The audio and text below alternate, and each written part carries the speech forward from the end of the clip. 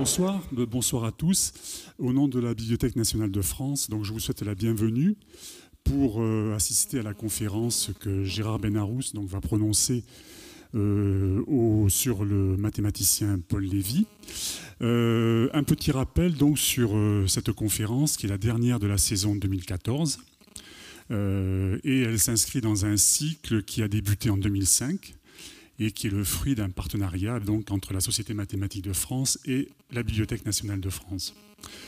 Euh, un petit rappel aussi euh, pour saluer nos partenaires sur cette manifestation, donc partenaires qui sont la région Île-de-France, Animat, la revue Tangente, ainsi que euh, France Culture. Voilà, donc je laisse la parole sans tarder à Martin Andler qui va vous présenter un peu plus euh, en détail le conférencier de ce soir et je vous souhaite une très très belle soirée et une très bonne conférence. Merci, merci à la BNF de nous accueillir. C'est donc aujourd'hui la 40e conférence euh, Un texte, un mathématicien. Et il se trouve que je connais le conférencier depuis 40 ans, ou presque 40 ans. Donc voilà, on est sous le sceau des 40. Donc Gérard Benarous et euh, professeur, comme c'est indiqué sur l'affiche, euh, au Courant Institute à, New York, il le dirige. Il est également vice-provost, qui est un poste important à l'université NYU. Avant d'être à New York, il était professeur à Lausanne. Avant d'être professeur à Lausanne, il était professeur à l'École normale supérieure, à l'université et à l'université Paris-Sud. Donc c'est un, mathématicien voyageur, et, mais ses trajectoires n'est pas du tout brownienne, elle est parfaitement déterministe, et il va nous parler donc aujourd'hui de Paul Lévy et les signes noirs. Merci. Merci Martin.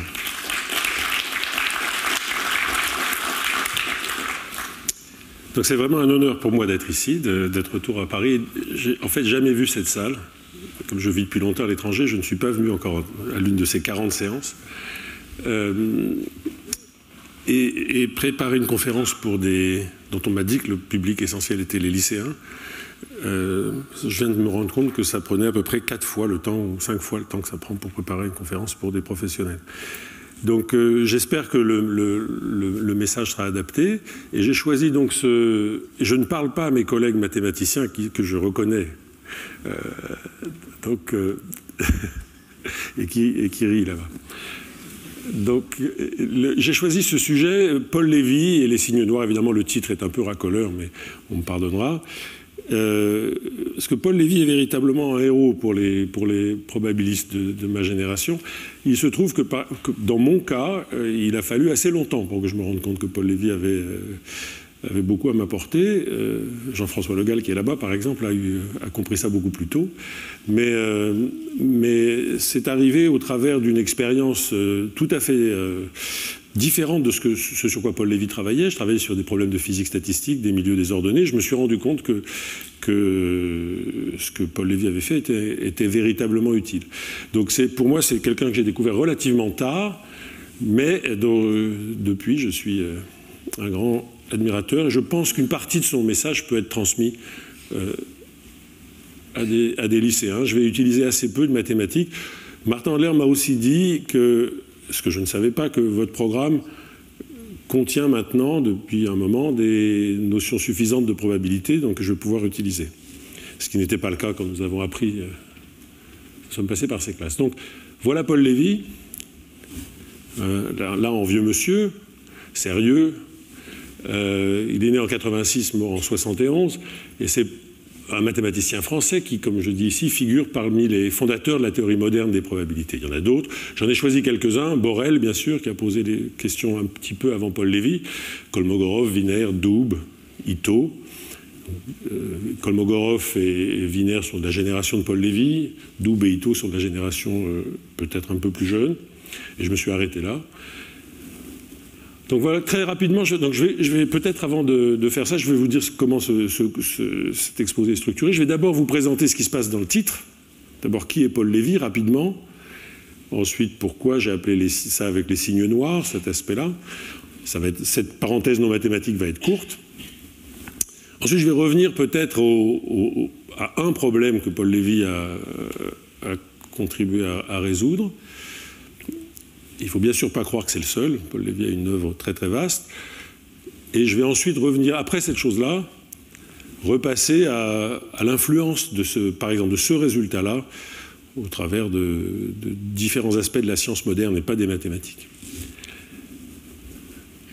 Alors d'abord la vie de Paul Lévy. Donc Paul Lévy, c'est l'archétype du, bon élève. Euh, il est né en 86 dans une famille de mathématiciens. Son père et son grand-père étaient polytechniciens. Il est élève au lycée Saint-Louis où il obtient le prix du concours général de mathématiques et de grec. Donc vous voyez, c'est une belle carrière de, lycéen. à 18 ans, il passe euh, les concours de l'école normale supérieure et de l'école polytechnique. Et là, il commet la seule faute de goût de sa vie, c'est qu'il choisit d'aller à Polytechnique. Euh, mais en fait, évidemment, son contexte familial euh, l'obligeait un petit peu à faire ça. Il continue par en rentrant au corps des mines. Et en parallèle au corps des mines, suit euh, des cours au, Collège de France où il rencontre Jacques Adamar, qui, euh, qui va devenir son patron de thèse. Donc Jacques Adamar, pour ceux qui ne savent pas, était un mathématicien éminent, un analyste important. Il passe sa thèse donc en 1911 sur quelque chose qui n'a rien à voir avec les probabilités. Le titre vous dit probablement rien, mais c'est ce qu'on appellerait aujourd'hui l'analyse fonctionnelle, dans l'héritage euh, direct d'un Italien qui a fondé peut-être cet aspect des choses, qui est Volterra. Donc, il, bien sûr Adamar. Et il reçoit sa thèse, dont son doctorat d'État, comme on disait à l'époque. Euh, non, en fait, à l'époque, ça s'appelait seulement thèse. Euh, en 1912. En 1913, il est professeur à l'école des mines et il reste jusqu'au début de la Première Guerre mondiale. Pendant la guerre, il, est bien sûr mobilisé comme capitaine d'artillerie et, et il commande le poste de défense aérienne de Roissy. Difficile d'imaginer la défense aérienne en 1914, mais ils avaient visiblement besoin d'un mathématicien sérieux pour le faire. En 1920, il est nommé euh, professeur d'analyse à l'école polytechnique. Et j'ai souligné en rouge ici, c'est le moment où il découvre, on va revenir sur cet événement important dans sa vie, c'est le moment où il découvre le calcul des probabilités. Jusque-là, c'est un analyste fonctionnel. Et en fait, euh, c'est une histoire d'amour, euh, et il n'a plus quitté cette discipline pendant toute sa carrière, essentiellement. Donc il y reste jusqu'en 40. En 40, il est radié à cause des lois de Vichy. Lévy était évidemment juif. Il passe la guerre dans la clandestinité, quitte Paris pour aller à Lyon puis Macon. Et après la guerre, il retrouve son poste à l'école polytechnique. Et il y reste jusqu'en 59. Il reçoit des honneurs importants, mais seulement relativement tard dans la carrière de quelqu'un d'aussi distingué. Donc il est, élu à l'Académie des sciences en 64, ce qui est, euh, il est né en 86, donc vous voyez, c'est vraiment vieux. Pour quelqu'un qui a eu cette influence, c'est relativement euh, difficile à comprendre, et on va, on va, le comprendre assez vite. Et il est fait commandeur de la Légion d'honneur, et il meurt en 71 à Paris. Donc voilà une vie euh, sans grand rebondissement, une vie de, bon élève, de, mathématicien, je vais peut-être vous dire quelques mots sur son caractère, en fait, sur mais avant d'arriver à ça, parce que ça explique un peu cette vie, donc lui, ce n'était pas un mathématicien voyageur, comme dit euh, Martin. Euh, sa découverte en fait des probabilités s'est passée de façon complètement fortuite. Donc j'ai appelé ça le hasard fait bien les choses. Témoignage est ici celui de, pardon, celui, celui de Michel Leuve, qui est ici, qui est l'unique étudiant de Lévy. Euh, Paradoxal, Lévy a été quelqu'un d'extrêmement prolifique. Il a eu un seul véritable étudiant, si je ne me trompe pas, qui est Michel Leuve, qui va jouer un rôle très très important dans la propagation des idées de Paul Lévy, parce que les idées de Paul Lévy sont euh, très importantes en France aujourd'hui, mais elles ont, pour revenir en France, elles ont dû passer par les États-Unis, la côte ouest et le Japon. Et Leuve est parti, en fait, heureusement, avant la guerre, euh, aux États-Unis, il a fait une très belle carrière en Californie. Il a essentiellement fondé le, groupe de probabilité de Berkeley, qui, est, depuis est un endroit extrêmement brillant et actif. Donc là, Leuve explique comment Paul Lévy a découvert les probabilités. En 1919, à l'âge de 33 ans, on, le charge de donner trois leçons sur le calcul des probabilités. Et ça marque donc, dans les, mots de, Michel Leuve, ceci marque le début de la période héroïque des probabilités, tout au long de laquelle Paul Lévy fut au centre de la scène. Donc cette période héroïque, qui est peut-être les années 30 et 40, pendant les 20 ans qui suivirent, le calcul des probabilités devint la théorie des probabilités. Une branche à part entière des mathématiques, profitant et participant au torrent des mathématiques, ce sont les mots de Michel Leuve du XXe siècle, avec des concepts, des problèmes et des résultats sans cesse nés de son propre paysage intuitif. Donc il faut bien comprendre que jusqu'à cette période, les probabilités étaient une mosaïque de problèmes intéressants, mais n'étaient pas vues véritablement comme une part intégrante des, mathématiques. L'axiomatique qui fonde les probabilités euh, comme vous le savez peut-être, a été faite par Kolmogorov dans les années 30. Les probabilités ont une histoire très ancienne, elles remontent jusqu'au XVIIe siècle.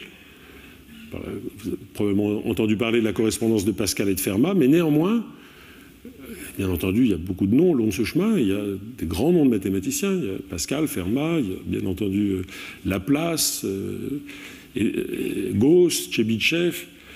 Mais l'intégration véritable au corps des mathématiques se fait seulement au XXe siècle et essentiellement après le moment où, Lévy commence à y réfléchir.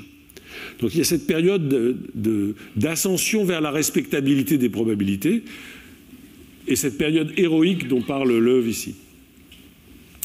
Alors ce mot que je viens d'utiliser, je le prends à cette citation, Paul-André Meyer, qui est un, un, probabiliste français important de la génération d'après, celle de Double, qui, euh, qui est disparu il y a quelques années. Et voilà comment Paul Lévy, euh, que Paul-André Meyer décrit Paul Lévy, son style.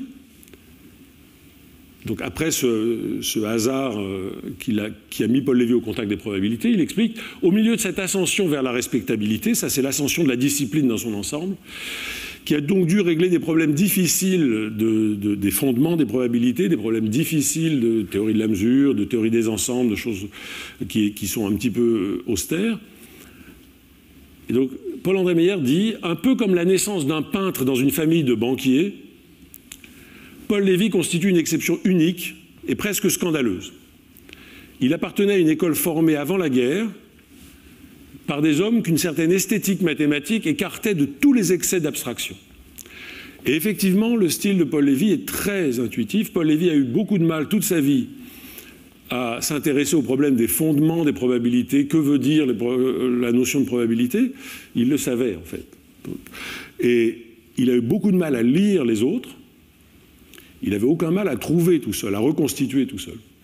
Ça lui a joué des tours. Il a, il a souvent euh, reconstituer des, il a prouvé des théorèmes dont il pensait qu'il reconstituait des théorèmes déjà connus. Mais comme il, n'allait pas passer du temps à les lire, il pensait que ces théorèmes étaient connus, il ne les publiait pas. Et ensuite, ces, ces théorèmes étaient publiés dix ans après par d'autres, parce qu'en fait, c'était des choses originales. Donc, Paul Lévy était un, un solitaire très intuitif et très artisanal, disons. Alors voilà ce que dit Laurent Schwartz, mathématicien que j'ai peut-être pas besoin de présenter, analyste et gendre de Paul Lévy. Et Laurent Schwartz explique ici cette chose. Un trait montre particulièrement bien ce dont je viens de parler, cette difficulté énorme qu'il avait à lire et cette facilité énorme qu'il avait à trouver. S'il s'est lancé dans le calcul des probabilités pour tout le reste de son existence, comme on vient de le voir, c'est parce que le directeur des études de l'école polytechnique lui a demandé d'y faire trois conférences, sur la base de conférences autrefois faites par Poincaré et qui avaient été abandonnées ensuite. Il essaya de voir ce qu'était le calcul des probabilités, vis-à-vis duquel il était complètement ignorant. Il s'aperçut qu'il y avait un nombre restreint de choses à lire, à l'époque c'est vrai, mais tout de même trop à son goût pour les trois semaines dont il disposait. Et il a laissé donc une lettre cette phrase J'avais trois semaines pour connaître le calcul des probabilités, c'était trop pour l'apprendre, mais c'était suffisant pour le retrouver. Donc quelqu'un qui est aussi assez sûr de ses capacités en vérité, même si c'est un homme très modeste et très discret, il se dit euh, je dois bien y arriver. Et il y est arrivé extraordinairement bien. Voilà. Alors le cheminement des idées de Paul Lévy, dont j'ai un tout petit peu parlé, là j'ai pris un autre témoignage d'un autre euh, probabiliste important français de la génération de Paul-André Meyer, Jacques Neveu, qui explique on sait que les probabilités ne jouissaient pas en France d'une grande notoriété dans les années 50. Peu de mathématiciens appliqués de valeur s'étaient rendus compte de l'importance pratique grandissante des probabilités. Il faut bien dire que ça a complètement changé. Euh, les choses ne sont plus du tout de, de cette nature. Peu de mathématiciens purs s'intéressaient aux probabilités et les travaux de Paul Lévy, s'ils étaient connus, n'avaient pas eu en France de grand retentissement. Tout autre était la situation à l'étranger. Aux États-Unis notamment, l'école américaine de probabilistes, née après la guerre et dirigée par Doub, Donc je vous ai parlé de Leuve, mais Doub est, véritablement, et Feller, euh, probablement double, double encore plus celui qui a mené cette école de probabilité américaine. Et l'école japonaise, conduite par Ito, avait littéralement puisé leur inspiration dans les travaux de Paul Lévy. Donc les idées de Paul Lévy sont revenues en France par l'Amérique et par le Japon. Depuis longtemps, ça, ne vient pas d'arriver. Euh, elles sont revenues en France en particulier dans l'étude du livre dont, nous allons parler aujourd'hui et du deuxième grand livre de Paul Lévy sur le mouvement brownien. Alors voilà les livres de Paul Lévy. Euh, il commence bien sûr par des, pardon, il commence bien sûr par des, euh, de l'analyse fonctionnelle, qui est le sujet de sa thèse. Ici, un petit fascicule de calcul des probabilités, mais la chose importante est ici, la théorie de l'addition des variables aléatoires, qui est le livre dont nous allons parler aujourd'hui, et son deuxième grand livre véritablement important est le livre de processus stochastiques et mouvements browniens. Et donc je me souviens, effectivement, pour citer un autre mathématicien probabiliste français important disparu récemment, Marc Yor, je me souviens de Marc Yor il y a 30 ans, décidant de lire de façon systématique le livre sur le mouvement brownien de Paul Lévy, parce que l'intuition de Paul Lévy était tellement riche que le livre contenait encore beaucoup de recherches à faire. Et bien entendu, euh, ce travail-là euh, s'est concrétisé dans l'école de probabilité française d'aujourd'hui. Les, mes contemporains, euh, Jean-François Le Galme, Jean Bertoin, dont on va reparler, des gens qui ont travaillé avec Yor, ont poussé ce livre de, de, Paul Lévy très loin. Ce livre est un peu trop difficile pour véritablement le présenter ici, donc j'ai choisi plutôt celui-là. Et qui est le premier, qui s'appelle donc théorie de l'addition des variables aléatoires, un titre modeste. Additionner des variables, ça n'a pas l'air d'être un problème très difficile. Et c'est là-dessus qu'on va venir. Donc voilà une belle photo de la, deuxième édition, l'édition Jacques Gabet de ce, de ce livre. Et en fait, l'édition originale date de 1937, et vous avez ici mon édition. Ça, c'est, euh, ça n'est pas la Bibliothèque nationale de France qui oublie de restaurer ses œuvres, ses, livres. C'est mon livre, euh, qui, comme vous voyez, n'est pas dans le bon état. pas parce que j'ai trop travaillé dessus, mais euh, parce qu'il est simplement un peu vieux. Il était comme ça quand je l'ai acheté. Donc on revient à une version un peu plus... Si vous voulez le lire, il vaut mieux le lire dans cette édition-ci. Et donc là, j'ai fini de parler de, des choses un petit peu élémentaires qui introduisent Paul Lévy. Et dans mon titre, il y a aussi les signes noirs. Donc on va faire une parenthèse non mathématique pour parler donc des signes noirs. Et j'ai appelé ça l'étrange destin d'une expression populaire. Ça m'apprendra à prendre un titre un peu aguicheur, parce que quand on donne une conférence comme celle-là, on doit vérifier ses sources, ce que j'ai fait, et j'ai découvert des choses intéressantes. Donc, si vous googlez euh, signes noirs, vous allez tomber sur ça, par exemple, Wikipédia. D'accord Qu'est-ce que c'est qu'un signe noir? Un signe noir, dans l'acception récente, qui, a quelques années, puisque le livre qu'il a fondé est relativement récent, c'est ça. C'est un événement qui a une faible probabilité de se dérouler, donc un événement rare pour un probabiliste, mais qui, s'il se réalise, a un impact important, une portée considérable et exceptionnelle. Donc la définition de Wikipédia dit Taleb a, dans un premier temps, appliqué cette théorie au monde de la finance. Donc le Taleb dont il s'agit, et Nessim Nicolas Taleb, voilà le livre, Le signe noir. Donc là, évidemment, il a publié d'abord en anglais, Black Swan, mais ici en français, le, sous-titre est La puissance de l'imprévisible, qui dit assez bien le même concept que celui qui était dit juste avant. Taleb est en fait quelqu'un qui a travaillé en finance et qui, euh, travaille comme euh, à l'école d'ingénieur de, de l'université de New York où je suis, à temps partiel, sur des affaires de management du risque, qui évidemment l'amène à faire ça. Taleb s'est pas arrêté à ce livre-là, qui est très centré sur la finance. Depuis, il a écrit un autre livre, il est en train d'écrire d'autres, celui-ci qui est très intéressant, je lui fais un peu de réclame là, mais ce livre est, nettement plus philosophique, typiquement un livre que Paul Lévy, n'aurait jamais ouvert, c'est un livre sur les fondements philosophiques et la puissance possible de la prédiction probabiliste. Euh, l'intérêt, par exemple, pour la robustesse des systèmes d'avoir des, descriptions probabilistes. On peut être d'accord ou pas avec euh, Taleb quand, on lit, son livre, mais il est relativement original. Voilà. Donc, revenons au signe noir. Donc, euh, il a fallu chercher les sources. En fait, c'est très facile, si vous googlez, de voir que les signes noirs sont tous ramenés à Juvénal. Juvénal, un, poète latin Et à vrai dire, je n'avais pas ouvert Juvénal, peut-être jamais, à part peut-être dans une version latine quand j'étais lycéen. Donc je suis allé chercher, il a fallu un petit peu de temps, et, voilà, c'est dans la satire numéro 6, le vers 165, voilà le vers. Rara avis interis, nigroque similima signo, ce qui veut dire euh, un oiseau rare dans ces terres, c'est-à-dire dans nos terres, dans ces pays. Ce coué veut juste dire et, oubliez-le, très semblable au signe noir.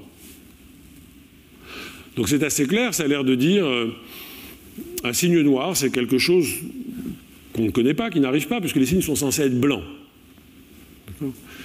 donc un signe noir, quand on le lit comme ça, un oiseau rare, euh, c'est une poule qui a des dents.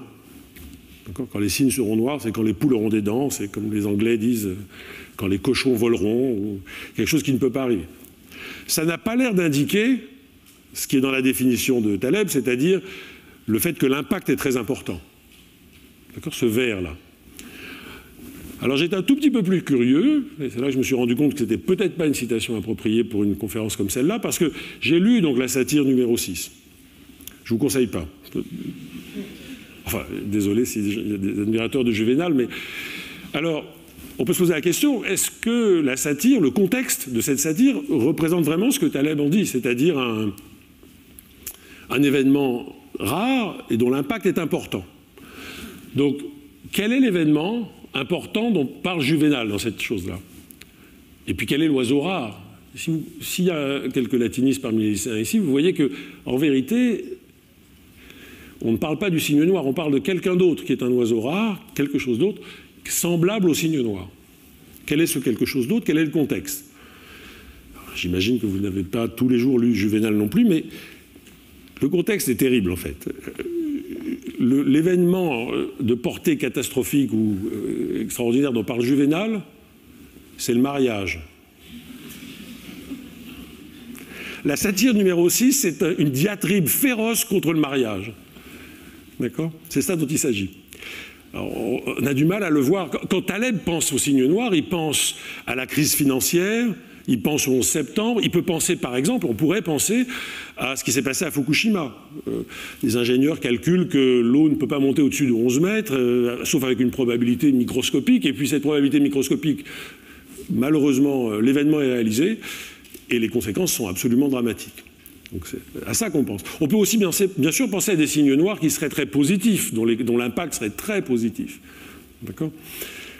Mais là, le mariage, franchement, ça n'a pas l'air d'être. Mais donc euh, c'est le point de vue de Juvenal. Il écrit à un ami, et pendant l'ensemble de la satire, il lui décrit toutes les catastrophes que le mariage représente et comment les femmes, puisque c'est un homme qui écrit à un homme, il est d'une misogynie terrible, et on pourrait imaginer le, rendre l'appareil et faire un.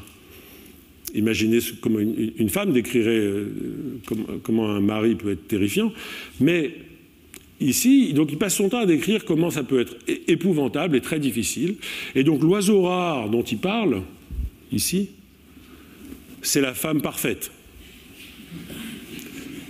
Dans les, dans les vers qui entourent le vers 165, cinq vers, où il décrit ce que serait une femme parfaite. Et il dit, si même tu trouvais une femme qui vérifie toutes ses propriétés,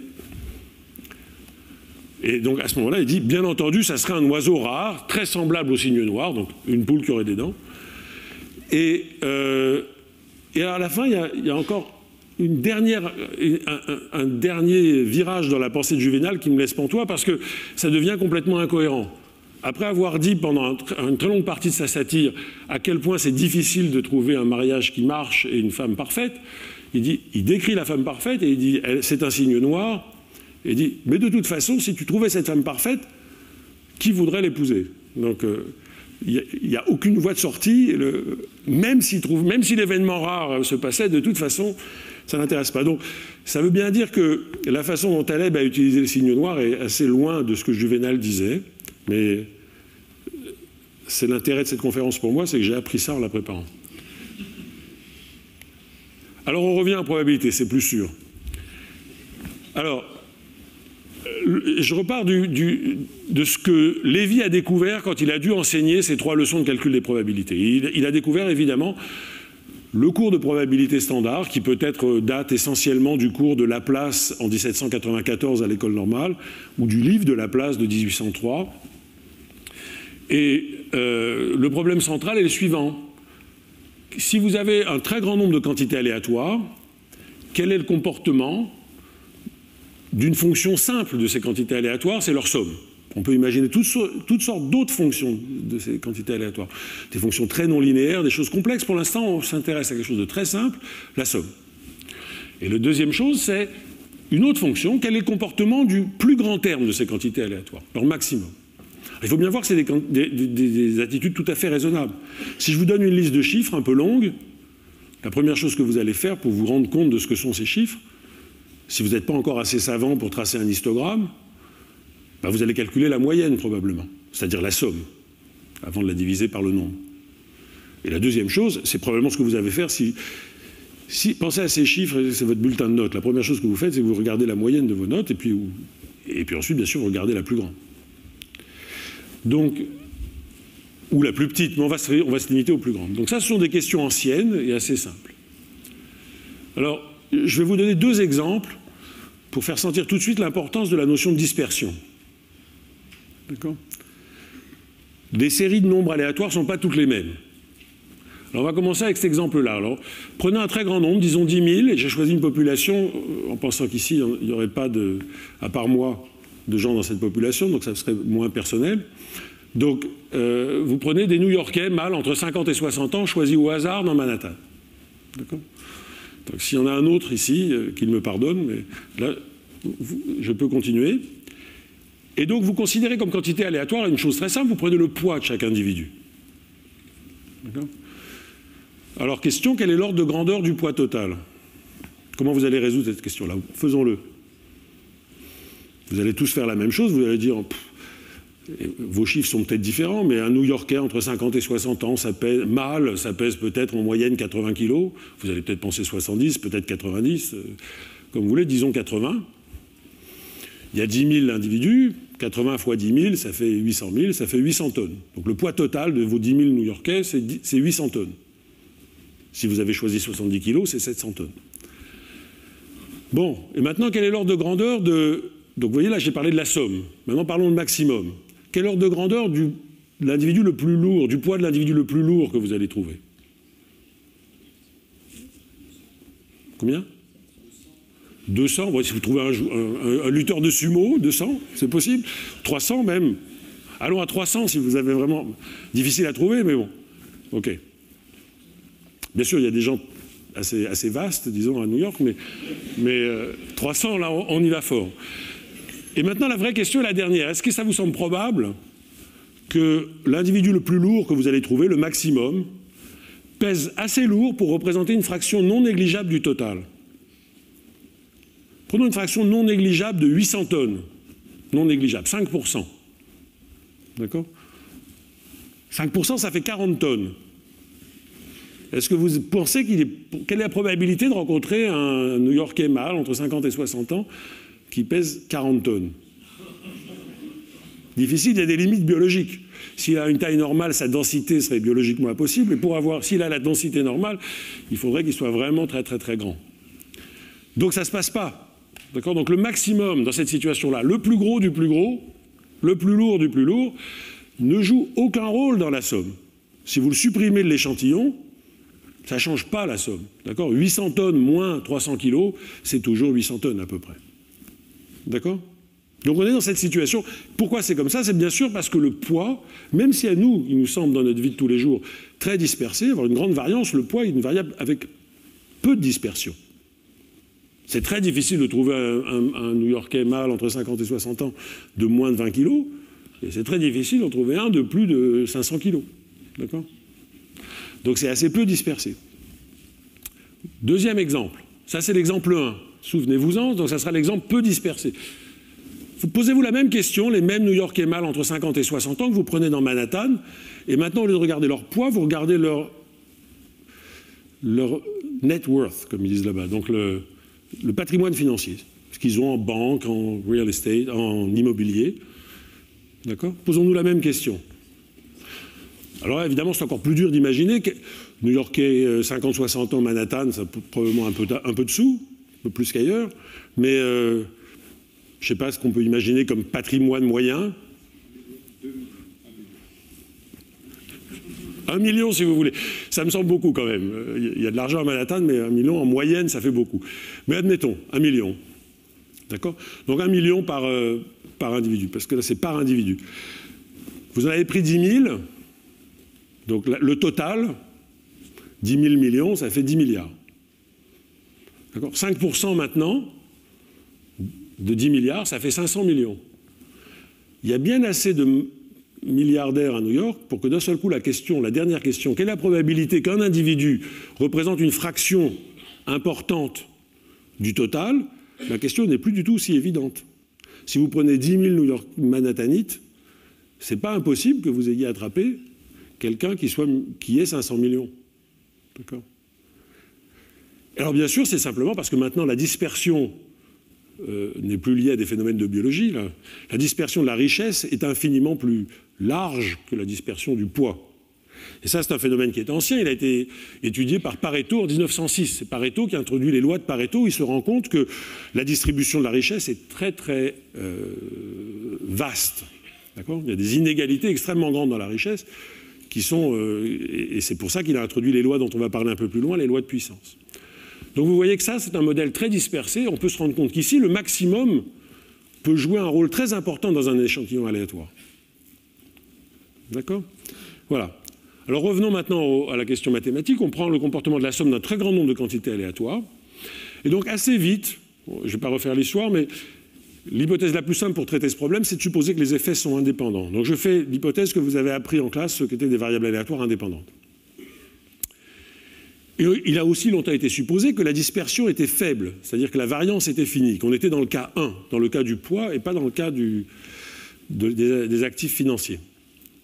Et dans ce cas-là, la situation est universelle, on connaît la limite, on sait ce qui se passe, on sait que les fluctuations sont gaussiennes. Je vais revenir là-dessus si ça vous semble. J'imagine que vous avez appris ça, mais je ne suis pas sûr. Tout le monde l'a appris? Oui? Et surtout, ce qui est important, c'est que dans cette situation, la contribution de chaque individu à l'effet total est négligeable. D'accord? Donc, il n'y a pas de signe noir, là, si vous voulez. Dans cette situation-là, le hasard est totalement résumé dans la loi gaussienne. Il n'y a pas de signe noir. Les extrêmes, les valeurs les plus grandes sont importantes, mais ne contribuent pas véritablement significativement à la somme. Si vous, si vous enlevez un élément de l'échantillon, ça ne changera pas la limite de la, de la somme. Alors le premier exemple, je vais aller très vite parce que je suis sûr que ça, vous l'avez appris. Le premier exemple, bien sûr, c'est le jeu de pile ou face. Donc vous avez un joueur qui joue, qui gagne un euro si la pièce donne pile, il perd un euro si elle donne face, la pièce est non biaisée, il joue un très grand nombre de fois. Et la question qui est historique, c'est après une série de n jets, de combien est-ce que la fortune du, joueur a-t-elle changé D'accord? Donc ça, ça se formalise mathématiquement très simple. Vous appelez xi le gain au, au ième jeu, c'est soit plus 1, soit moins 1, c'est un gain algébrique. Et le, gain du joueur, ou la perte du joueur après n jeux, c'est simplement la somme ici, de ces gains individuels. Donc ici, les individus, c'est très clair. Le maximum, ça peut être que 1. D'accord? Chaque individu, ici, c'est moins 1 ou plus 1. Donc le maximum ne peut pas être bien grand. Donc on est clair, là, clairement dans une situation où il n'y a pas une grande dispersion.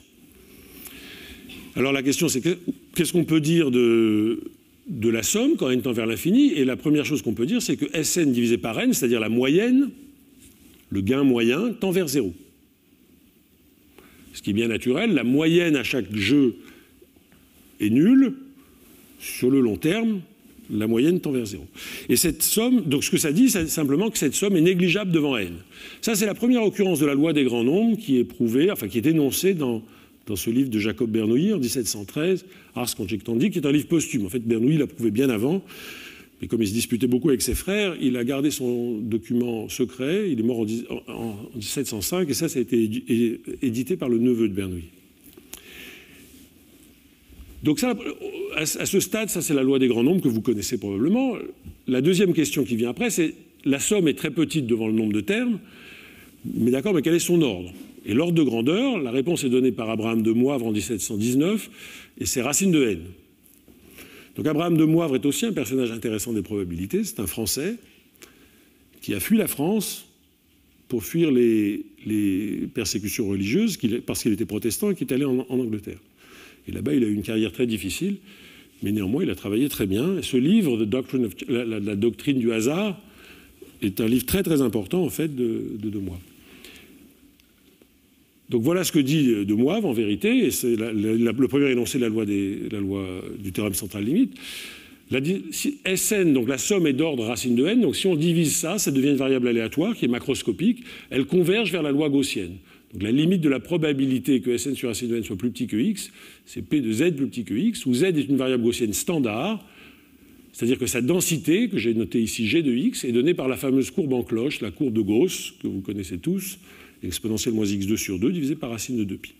Alors, juste un détail, on l'appelle la courbe de Gauss, mais c'est longtemps appelé la courbe, ça, ça c'est longtemps appelé le théorème de Laplace ou de Laplace de Moivre. Et en fait, les Français disaient Laplace, les Allemands Gauss, et les Anglais disaient normal pour ne pas avoir à décider entre les Français et les Allemands. Et donc, si on répète cet énoncé-là ici, voilà l'énoncé du théorème central limite. La probabilité qu'Sn sur, sur racine de n soit plus petit que x converge vers cette intégrale, c'est-à-dire cette intégrale-ci. Théorème non trivial. Bien sûr, quand De Moivre l'énonce, il a du mal à l'énoncer comme ça, parce que par exemple, la notation exponentielle n'existe pas.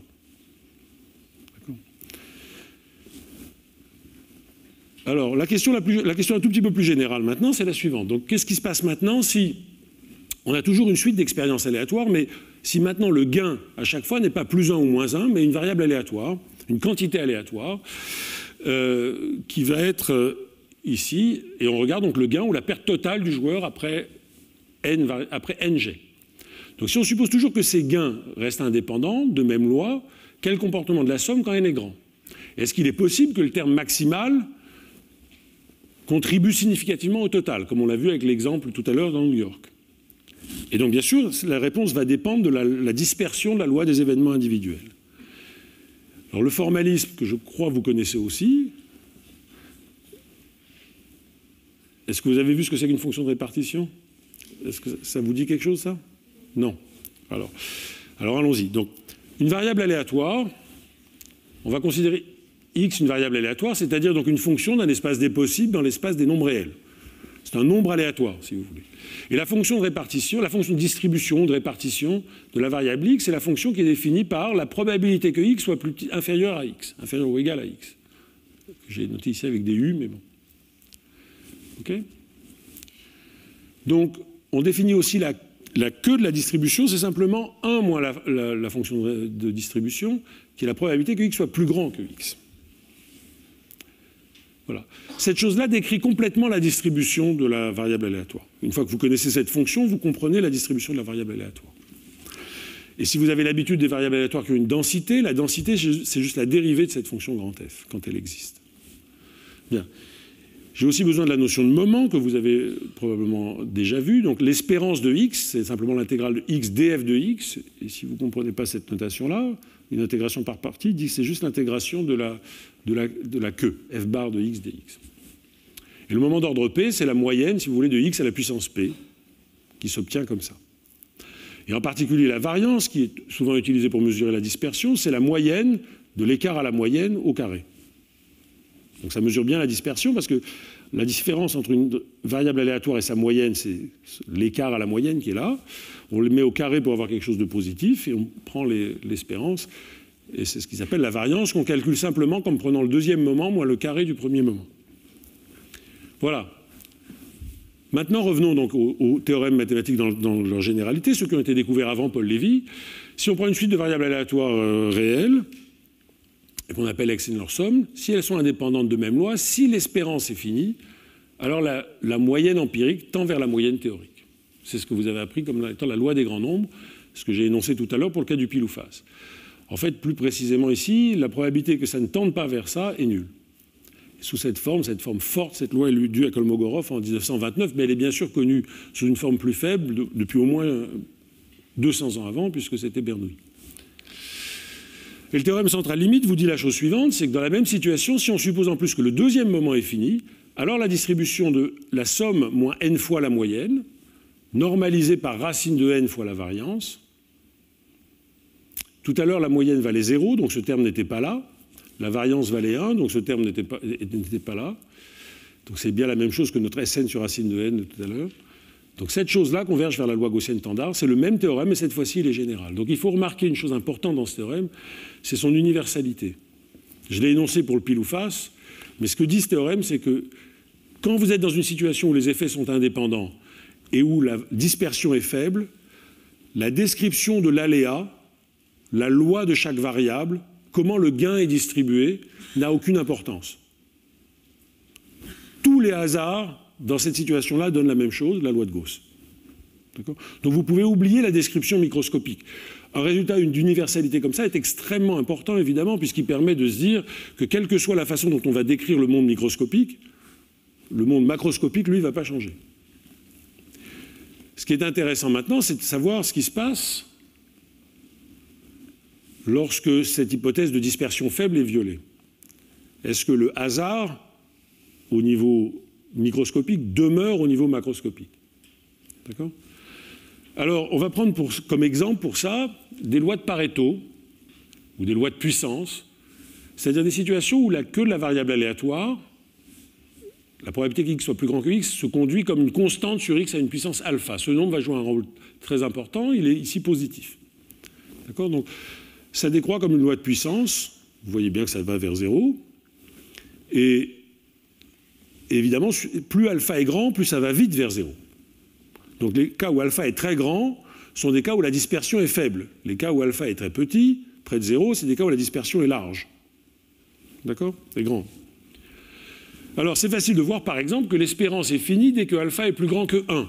Rappelez-vous, pour avoir l'espérance, vous devez intégrer cette chose-là. Donc l'intégrale de 1 sur x puissance alpha, quand alpha est plus grand que 1, en l'infini, c'est fini. Donc la loi des grands nombres s'applique dès qu'alpha est plus grand que 1.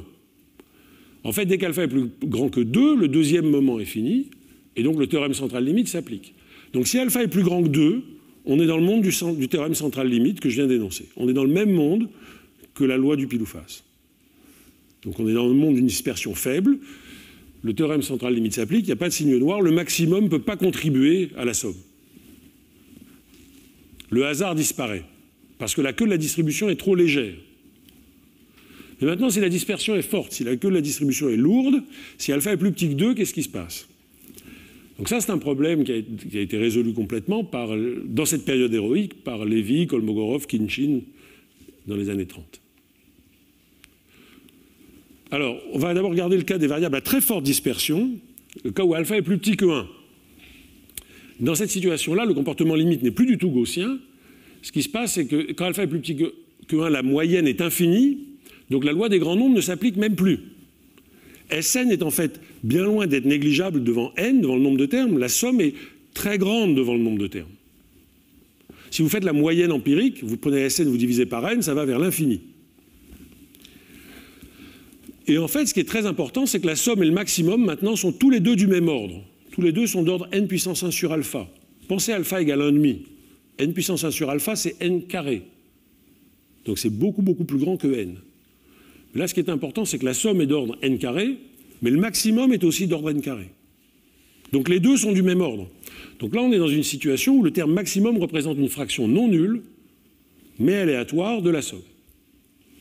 Donc ça, c'est une situation où on peut imaginer qu'il y a des signes noirs. Des événements très rares ont un, impact aussi important, le maximum a un impact aussi important que l'ensemble de tous les autres. À, à une fraction près. Le deuxième maximum aussi, d'ailleurs. Ça, j'ai parlé du premier, du plus fort, mais le deuxième aussi est une fraction non nulle du total. Alors, voilà l'énoncé mathématique qui, ressemble euh, au précédent. Donc quand alpha est plus petit que 1, vous normalisez Sn maintenant par son ordre de grandeur, qui est n puissance 1 sur alpha. Pensez alpha égale 1,5, donc vous normalisez par n2 maintenant. Et ça converge en, distribution vers une variable aléatoire, ce qui veut dire ça. cette variable aléatoire maintenant n'est plus gaussienne, c'est une variable qui est dite alpha stable ici totalement asymétrique d'indice alpha. Cette loi, elle est déterminée par sa transformée de Fourier ou sa fonction caractéristique, c'est-à-dire par cette formule-là. Ne me demandez pas une densité de cette loi, parce qu'on ne la connaît pas, on la connaît que dans des cas très, très particuliers. Et le maximum est lui aussi d'ordre n puissance 1 sur alpha. En fait, si vous normalisez le maximum par n puissance 1 sur alpha, disons n2, quand alpha égale 1,5, ça converge en distribution vers une loi qui est bien connue. Et le rapport mn divisé par Sn, donc la fraction représentée par le plus riche par rapport à l'ensemble de la fortune, ça converge en distribution vers une loi qu'on connaît aussi. D'accord? Donc cette fois-ci, le rapport est macroscopique. Donc ça, c'est un hasard très fort. On peut regarder aussi ce qui se passe quand alpha est entre 1 et 2. Donc le, le comportement limite n'est plus gaussien. Comme alpha est plus grand que 1, la moyenne est finie, la loi des grands nombres s'applique, et la somme est donc d'ordre n. J'ai l'impression que je n'ai pas le bon texte. Les fluctuations de la somme donc autour de la moyenne sont d'ordre n puissance 1 sur alpha, qui sont bien plus grandes que racine de n. Et la loi limite n'est plus gaussienne, mais une loi stable. Et le maximum est d'ordre n puissance 1 sur alpha, c'est-à-dire du même ordre que les fluctuations de la somme. Donc, le, maximum ne contribue plus vraiment comme une fraction positive de la somme, mais il change la, façon dont la somme fluctue autour de sa, de sa moyenne. Donc c'est peut-être plus un signe noir, c'est peut-être un signe gris. Mais je suis un tout petit peu inquiet sur le, texte. On va voir si c'est le bon. parce que j'ai vu des fautes d'orthographe que j'avais corrigées, donc c'est un petit peu gênant. Donc j'imagine que. Donc voilà le théorème euh, purement mathématique. Quand alpha est entre 1 et 2, la loi des grands nombres est valide, Sn sur n converge vers l'espérance, la somme centrée est normalisée, normalisée de la bonne façon, converge vers une variable aléatoire. Et le maximum, lui, est toujours d'ordre n, n, puissance 1 sur alpha. Voilà. Alors, assez parlé de, cette chose-là, prenons-le de façon un peu géométrique. Donc là, vraiment, je ne suis pas avec le bon. Il n'y a aucun doute.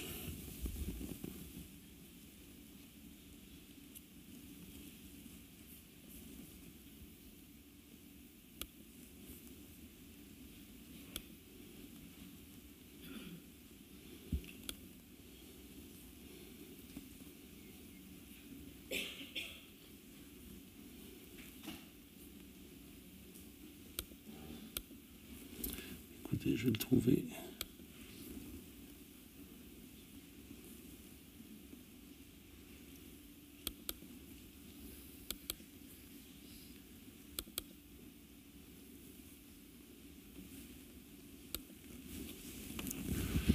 Désolé pour cette interruption.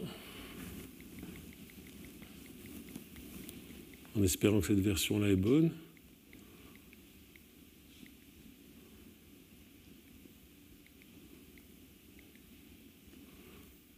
pas meilleur. Bon, euh, je, suis, je suis vraiment confus.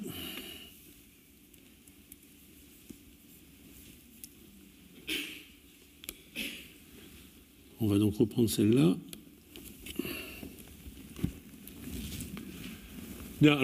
Prenons le problème un problème de type géométrique un problème de marche aléatoire. Donc vous imaginez une particule qui évolue dans l'espace à d dimensions elle démarre de l'origine et elle fait la chose suivante.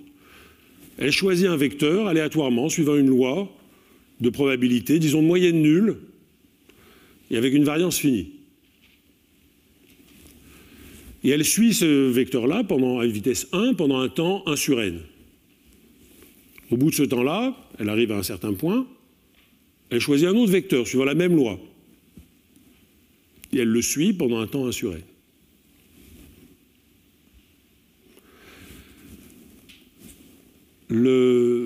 et elle continue.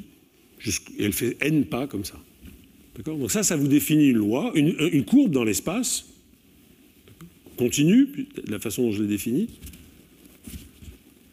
Et on peut se poser la question, comment, euh, qu'est-ce qui Donc je, je, regarde cette courbe aléatoire que j'appelle Sn à l'instant t, quand t est un temps entre 0 et 1. Et je divise ça, je normalise ça par racine de n, qui est la bonne normalisation, comme on l'a vu quand le théorème limite central s'applique. Et qu'est-ce qui se passe avec cette chose-là?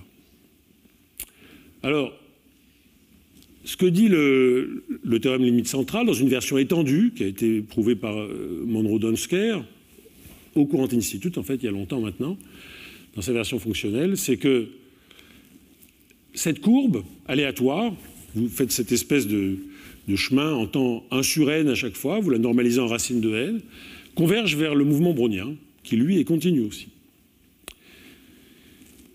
Et le comportement est, diffusif, c'est-à-dire que ça se propage vitesse, la, position en t est d'ordre racine de t, et, la, trajectoire limite est continue. Le fait que la trajectoire limite est continue, ça dit qu'aucun des mouvements locaux ne crée un saut dans la limite, ne crée une discontinuité dans la limite.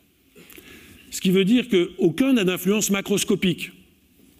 Chacune de vos décisions, si vous êtes le marcheur, de prendre cette direction-là plutôt que celle-ci, aucune ne va réussir à vous faire faire un, pas qui survit dans la limite. Dans la limite, tout ça disparaît. Et dans la limite, les choses ressemblent à ça. Donc ça, c'est une courbe du mouvement brownien en dimension 2. Imaginez cette promenade en dimension 2. D'accord?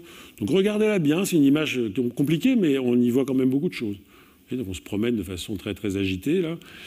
Voilà. Regardez-la bien parce que l'œil est un bon décrypteur du phénomène. Maintenant, qu'est-ce qui se passe si, au lieu d'avoir supposé que la loi n'est pas de la, marche en question, le vecteur euh, que vous allez choisir, ou j'aurais pu aussi changer la vitesse, mais euh, si vous choisissez, cette loi des pas n'a plus de variance, si elle-même maintenant a une grande dispersion. Alors vous pouvez imaginer que certains pas, le pas maximum va jouer un rôle important. D'accord? Comme on a vu précédemment, que le maximum était du même ordre que la somme. Alors, est-ce que ces grands pas peuvent créer un déplacement plus rapide de la particule, qu'on appellerait un comportement surdiffusif? D'accord Vous avez le droit d'aller beaucoup plus loin, la particule peut probablement aller beaucoup plus vite. Et si maintenant la loi des... Alors la réponse à cette question, c'est oui. Et en fait, si la loi des déplacements à chaque pas est, à queue lourde, la trajectoire du marcheur, du marcheur, aléatoire ne converge plus vers le mouvement brownien, mais vers un nouveau processus une nouvelle courbe aléatoire que Lévy a décrit. Et là, il faut faire une petite parenthèse. Ce que Lévy a vraiment apporté, c'est le point de vue que je viens de donner ici, c'est-à-dire le point de vue trajectoriel. Jusqu'à Lévy, les gens qui travaillaient sur des évolutions aléatoires, qui sont très importantes dans une quantité, essentiellement dans l'ensemble de la science, pensaient en termes de loi, de distribution. Quelle est la distribution de cette évolution aléatoire si on la regarde à différents instants? Lévy est l'un des premiers véritablement, avec d'autres bien sûr, mais l'un des premiers à voir les choses du point de vue des trajectoires aléatoires. Et ce point de vue-là est le point, le point, de vue vraiment fécond. Donc, cette trajectoire aléatoire converge vers une nouvelle trajectoire aléatoire qui s'appelle un processus stable de Lévy. Alors, on ne l'appelle pas de Lévy, nous.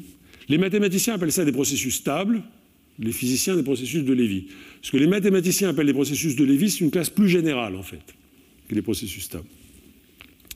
Et ce processus est bien sûr diffusif, et il est surtout non continu.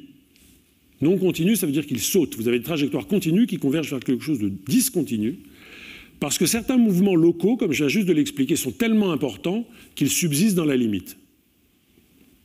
Ça correspond à mon New-Yorkais riche de tout à l'heure, si vous voulez. Ils contribuent énormément et ils créent un saut. Leur contribution D'accord? Si vous regardez l'évolution, vous avez vos 10 000 New-Yorkais, vous regardez l'évolution de la somme de leurs de finances, vous allez la voir évoluer lentement. Et à, certains moments, vous allez tomber sur des gens très riches qui vont faire sauter votre, votre somme très sérieusement. Ce saut va demeurer à la limite, c'est ce que ça dit. D'accord?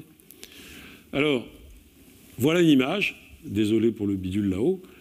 Euh, ça, c'est ce que physicien appellerait un, vol de Lévy, un processus stable ici. Vous voyez qu'elle est assez différente de la précédente. Vous voulez regarder la précédente Alors bien sûr, ici, c'est ce que symbolise ces grands traits. Donc vous avez des petits mouvements par ici, et de temps en temps, ici, vous avez un grand saut. Alors bien sûr, si on, disait simplement que la particule saute d'ici à là, et qu'on enlevait ce trait, vous verriez rien. D'accord? Donc on garde le trait ici pour montrer que effectivement, il y a ces grands déplacements rapides et cette exploration locale. Alors, voilà. Maintenant, on peut encore changer le modèle un tout petit peu, et après je vais arrêter avec les mathématiques, on va passer à l'influence de Lévy. Supposons maintenant que vous repreniez une marche aléatoire qui va vers le mouvement brownien, une marche très simple, où vous faites des pas euh, bornés, vous ne pouvez pas avoir des, grands sauts, mais vous changez la règle de la façon suivante. À chaque pas, au lieu de décider que le, temps va durer 1 sur n, vous choisissez le temps, vous, décidez que vous êtes piégé, vous ne bougez pas de l'endroit où vous êtes, pendant un temps choisi aléatoirement. Donc si le temps de piégeage, que j'appelle ici TI, à la IM étape, est tiré lui aussi au hasard avant de bouger, est-ce que ce piégeage peut ralentir la particule significativement maintenant? Donc la particule se déplace, puis à un moment elle s'arrête, elle tire un temps au hasard, et ce temps peut être très long, donc elle va rester coincée. Et ça se rappellera maintenant un comportement sous-diffusif, la particule va aller beaucoup moins vite.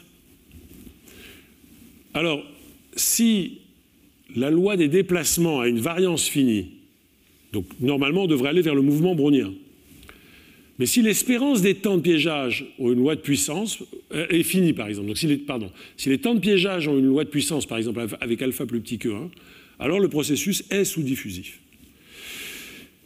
Et effectivement, si vous voulez, ce qu'on a maintenant, c'est un mouvement brownien, quelqu'un qui se déplace sur la trajectoire d'un mouvement brownien, mais qui porte avec lui une horloge très mal réglée, qui lui dit de temps en temps de s'arrêter. L'horloge s'arrête de temps en temps, il s'arrête. Elle s'arrête très longtemps, cette horloge. Cette horloge, en fait, c'est une somme de temps aléatoire et c'est elle-même un processus de Lévy. Donc l'objet que vous obtenez ici, c'est un mouvement brownien qui est euh, qu'on fait tourner sur une horloge qui est, un processus de Lévy. Et euh, ce modèle-là, qui est un modèle de piège très simple, quand il est convenablement étendu et complexifié, a en fait une portée très très large en physique des milieux désordonnés. en fait, ça explique les phénomènes de diffusion lente, de sous-diffusion, qui sont très importants, mais aussi les phénomènes de vieillissement. Beaucoup de milieux très désordonnés vieillissent, ça c'est un très bon modèle de vieillissement. Par exemple, dans des milieux amorphes, dans des milieux vitreux ou dans la dynamique des vers de spin. Les vers de spin sont des objets très compliqués, mais qui sont des objets de physique statistique des milieux désordonnés, qui peuvent être étudiés et qui le sont beaucoup en ce moment. C'est par cette porte-là que je suis rentré euh, dans le monde de, Paul Lévy. Alors, je vous ai dit que Paul Lévy était important, et je vous ai décrit quelques petites euh, échappées sur ce qu'il a fait.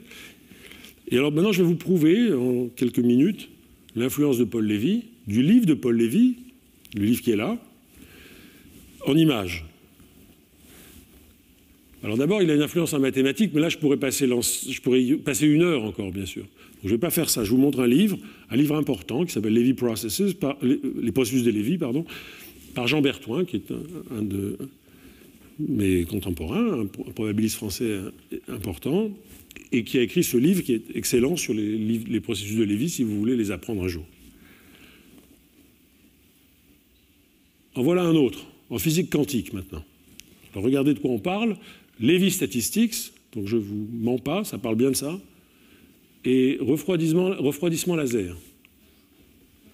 Quel est le sous-titre? Alors d'abord, quels sont les auteurs? Bardou, Bouchot, euh, Aspect, Claude, Quentanji, vous reconnaissez probablement des, des physiciens français éminents. L'un d'entre eux a le prix Nobel. Donc, regardez le sous-titre, Comment est-ce que des événements rares amènent des atomes au repos? Avec un petit dessin qui essaye de vous expliquer ça. Le modèle de base derrière ça, c'est un peu plus complexe que je vous ai écrit, bien sûr. C'est ce que je viens juste de vous décrire sur le modèle de piégeage. Donc vous imaginez des atomes qui se déplacent avec quelque chose comme un mouvement brownien, mais à cause de, ce que vous leur faites subir, avec ce, refroidissement laser, je ne vais pas rentrer dans ce que c'est. À chaque instant, l'atome est piégé, attend un moment, un, moment aléatoire avant de continuer à bouger. Et les événements rares dont parle ce livre sont exactement ceux dont j'ai parlé dans l'ensemble de cette conférence. Ces moments où les, temps de piégeage sont très grands, comparables au temps total, à la somme. Et ces événements-là finissent par amener les atomes au repos. Ce que ça, fait, c'est que ça les ralentit beaucoup. Plus vous piégez, plus ça va les ralentir. Plus vous changez le alpha, dont je vous indiquais tout à l'heure, faire passer de 1 à 0, quand vous arrivez à alpha très très petit, ça bouge très très lentement. D'accord? Donc bien sûr, ce livre est bien plus complexe que ce que je viens de dire, mais vous voyez, le, titre contient exactement ça. Donc je pense que vous pouvez aller regarder ça dans quelques temps. Alors, Maintenant, dans une autre branche, on reste dans les, sciences dures, On est en physique statistique ici. Donc les, idées de Paul Lévy sont très importantes dans la physique des systèmes complexes. Je vous ai parlé tout à l'heure de, systèmes vitreux, de systèmes amorphes. Voilà un bon livre qui est en fait un, ensemble de cours euh, aux Ouches, qui est une école d'été de, physique. Le même Jean-Philippe Bouchot tout à l'heure, Marc Mézard euh, et Jean Dalibard, qui sont deux contemporains aussi et deux physiciens très importants en France aujourd'hui. Ce livre est excellent pour vous donner une idée de ce qu'on fait en physique statistique avec ces idées-là. Malheureusement, le titre ne comprend pas, ne comprend pas le mot Lévy, mais croyez-moi. En voilà un autre. Cette fois-ci, on, est sorti des sciences dures, on est en finance. Donc, en fait, on n'est pas vraiment sorti des sciences dures parce que Didier Sornet est aussi un physicien. Mais ce dont il parle ici, c'est pourquoi est-ce que les, marchés financiers crachent? Et c'était avant le crash. Et, pardon, et ce dont il parle ici, vous voyez, ce sont des événements critiques exactement les rare events. Regardez à quel point le vocabulaire est le même. Les physiciens quantiques disent comme pourquoi des événements rares amènent euh, quelque chose au repos. Lui, il dit ici pourquoi des événements critiques, enfin des événements critiques dans des systèmes financiers complexes. Ce que les événements critiques amènent ici, ce n'est pas du tout le repos, mais c'est le crash, évidemment. Et pour comprendre bien ça, il faut bien sûr, en fait, les physiciens souvent retrouvent ce que les, exactement comme Lévy retrouvait, les physiciens souvent retrouvent ce que Lévy a fait, lui donnent beaucoup de crédit, le lisent pas beaucoup, mais dans, ce cas-là, le, livre est très informé sur le travail de Lévy. Alors voilà quelque chose d'autre, on est parti de la finance, on arrive en économie, c'est un livre qui, est, qui fait du bruit évidemment.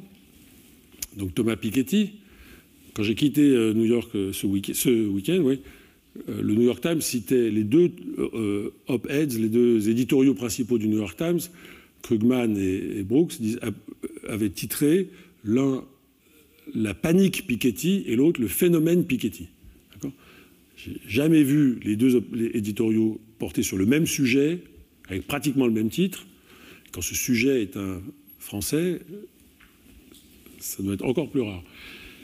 Et Thomas Piketty est venu donner plusieurs conférences à, New York. Donc, et effectivement, ce, livre, la partie polémique et la dernière partie où il suggère une taxe globale sur le patrimoine, mais les premières parties sont des parties qui, en fait, accumulent des données, un effort considérable, 15-20 ans, avec beaucoup de, monde, beaucoup de gens au travers du monde, qui accumulent des données sur l'évolution du patrimoine et, et du revenu dans un grand nombre de pays sur 200 ans, et en particulier sur l'inégalité.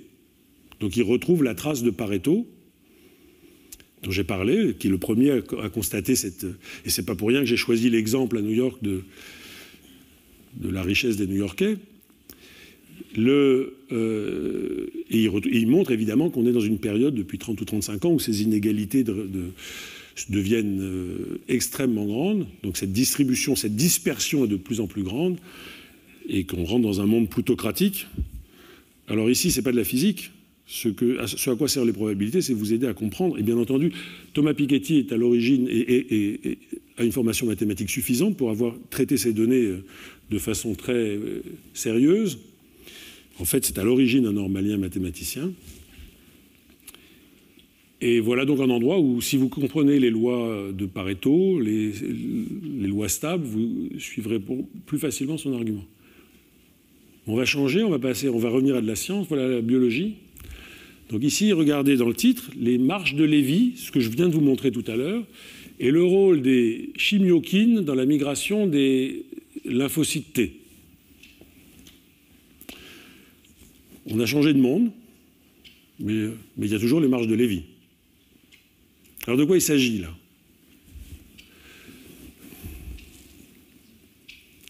Donc les, les chimiokines, sont des petites protéines qui ont un rôle très important pour activer les lymphocytes T, qui sont en fait des éléments essentiels du système immunitaire. Et ce que dit ce texte, c'est les chimiokines ont un rôle central dans les processus de régulation essentiels pour la, fonction immunitaire des, des lymphocytes T telles que leur migration à l'intérieur des tissus lymphoïdes et surtout le, ciblage des pathogènes.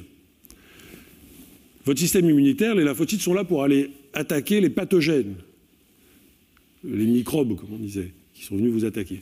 Et ils sont là pour vous défendre. Mais le problème, c'est qu'il faut les trouver. D'accord? Et les chimiokines sont là pour aider les lymphocytes à, les trouver. Alors ici, ils font une expérience extrêmement impressionnante du point de vue de la physique. Ils, suivent les lymphocytes en utilisant de la, microscopie multiphoton et ils arrivent à démontrer que la chimiokine machin améliore la, capacité du lymphocyte truc à contrôler le pathogène. Non, je ne vais pas faire semblant de comprendre ce que veut dire CD8, mais, mais à contrôler le pathogène Toxoplasma gondii. Donc, ça, vous savez tout ce que c'est que la toxoplasmose dans, les cerveaux de souris infectés.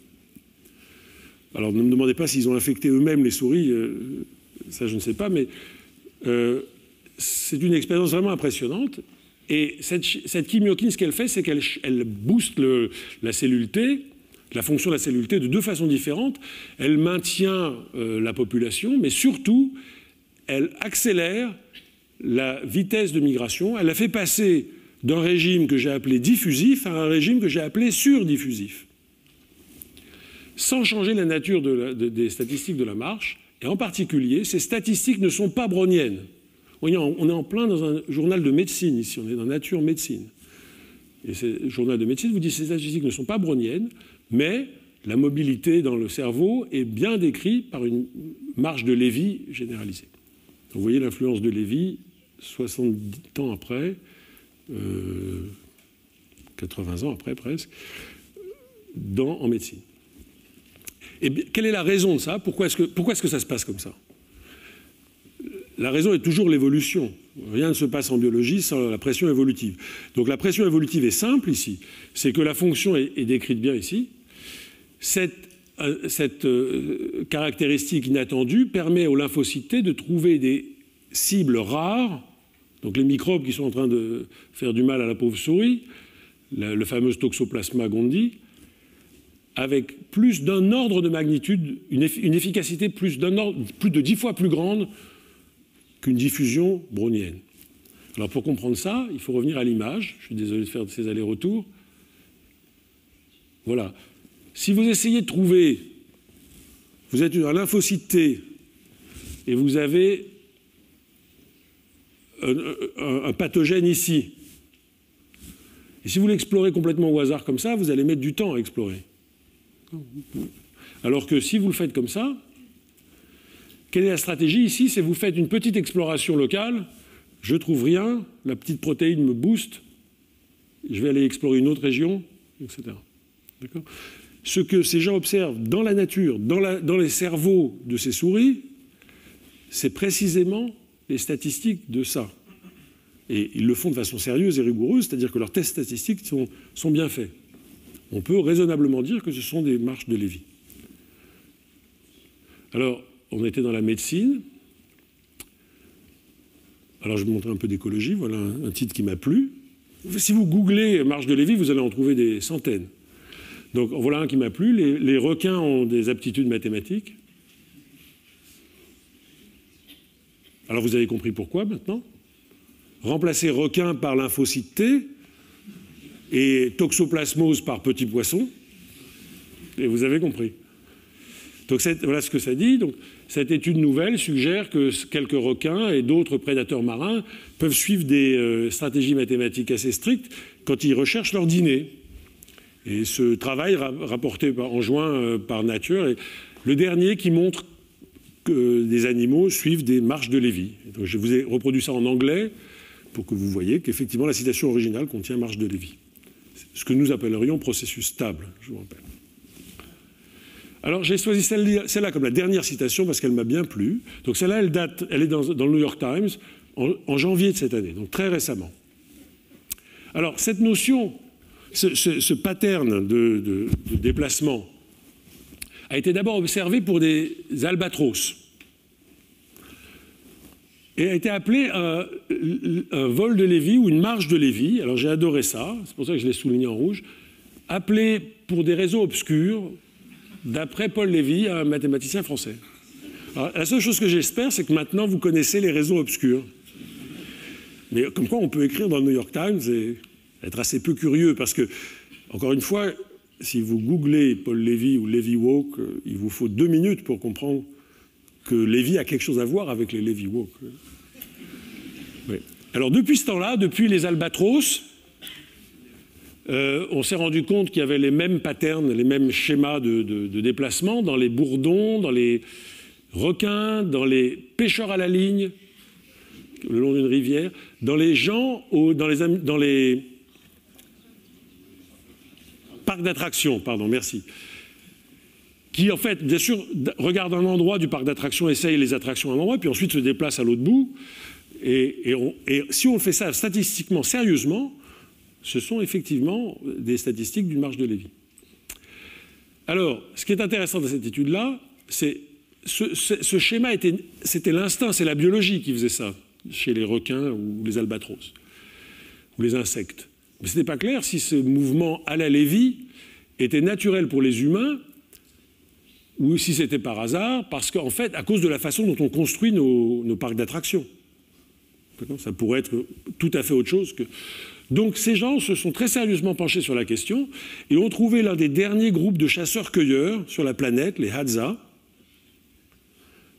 des gens qui vivent encore comme les humains vivaient il y a 40 000 ans. Et ils, ils en ont pris 44, j'espère qu'ils ont fait ça gentiment, et ils, ont, leur ont donné des, montres euh, avec un GPS et ils les ont suivis pendant longtemps en leur demandant de vivre leur vie de chasseurs-cueilleurs euh, comme ils le faisaient d'habitude en gardant les montres. Et le résultat est que c'est une, un, un, donc une marge de Lévy. De la puissance des mathématiques, si vous voulez. On termine. Parce que les phénomènes qu'on montre en mathématiques commencent toujours par ces énoncés assez secs et austères, mais la force des énoncés secs et austères, c'est qu'ils sont souvent assez universels. Donc, quand on comprend le mécanisme, on peut deviner ce qui va se passer. D'accord? Donc, je veux terminer avec celui-là à cause de, euh, ces obscures raisons. Bien sûr, Paul Lévy, s'il était encore là, euh, se moquerait probablement comme de l'an 40 qu'on ait oublié son nom euh, ou qu'on ne comprenne pas pourquoi ça s'appelle la Lévy Walk. Mais on ne l'a pas oublié. Et donc, y compris dans les littératures, comme vous avez vu, d'économie, de, finance, de biologie, de médecine, d'écologie, son nom est toujours là. Alors, un mot de conclusion. Ce que j'ai raconté ici, c'est l'importance des phénomènes aléatoires qui ont une forte dispersion, tel que le hasard continue à exister, si vous voulez, à la. Ce qui était critiquable dans ce que je raconte et ce qui limite la portée, c'est que la seule opération qu'on a regardée est très simple, c'est la somme. La somme d'une série de données. Et aussi le maximum. Des opérations très très simples. En fait, euh, l'importance de ces phénomènes-là n'est pas limitée à ce qu'on vient de faire, n'est pas limitée à une superposition comme ça, linéaire, simple, une somme. Ils interviennent aussi tout à fait naturellement au travers de fonctions beaucoup plus compliquées, beaucoup plus non linéaires qu'une somme, et aussi de structures qui sont beaucoup plus complexes qu'une suite. Ici, on imagine simplement que la structure des données, c'est une suite. Ça, c'est les statistiques du XVIIe siècle, si vous voulez, du XVIIIe siècle. Les données aujourd'hui, celles que vous trouvez sur le web, sont absolument pas structurées comme une suite. Ce sont des choses beaucoup, beaucoup plus complexes que ça. Et en fait, donc typiquement, ça peut être beaucoup plus complexe qu'une suite de variables aléatoires. Par exemple, ça peut être des graphes des réseaux, comme on dirait, qui sont aléatoires. Et ça, sur des réseaux compliqués d'interaction, avec des interactions qui sont très non linéaires, le rôle des, euh, comprendre le rôle de ces grandes dispersions est difficile. Mais c'est ce qui se retrouve dans des disciplines comme la biologie moléculaire. Là, les réseaux dont je parle sont des réseaux d'interaction biochimique. Euh, la sociologie, l'étude des réseaux sociaux, là, vous comprenez. Bien sûr, je n'ai pas écrit la NSA, mais c'est évidemment derrière ça.